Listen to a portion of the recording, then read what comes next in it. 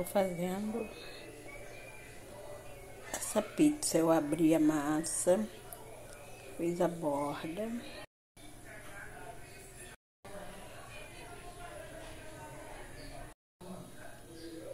Dei a pausa.